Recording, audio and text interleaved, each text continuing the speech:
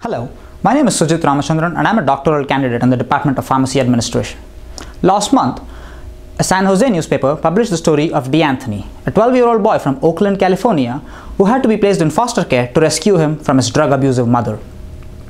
Perhaps not surprisingly, a series of incidents involving DeAnthony acting out led to a psychiatrist diagnosing him with mental health problems like ADHD, depression, and even bipolar disorder. He was placed on a cocktail of drugs including lithium, Seroquel, and Risperdal. Kids like DeAnthony all across the country today are being prescribed this new generation of antipsychotics to help with their behavioral disorders. But the FDA has not actually approved the use of many of these drugs in children. In fact, health information databases like Micromedex have concluded that there is insufficient evidence that these drugs actually work. Drugs like Abilify, Seroquel, or Risperdal are known to cause serious side effects in children, including weight gain, diabetes, precocious puberty, not to mention dullness and drowsiness.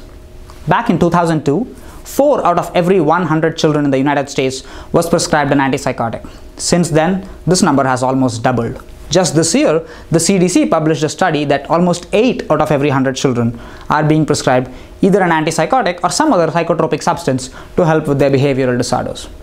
Now, given this increasing use, I believe our society needs to step up to find ways to make these drugs safer for our children.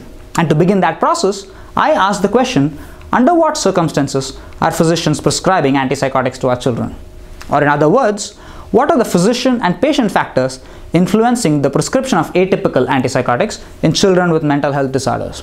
And to begin to answer that question, I reached out to over 200 physicians all across the country, including psychiatrists, general practitioners, and even pediatricians.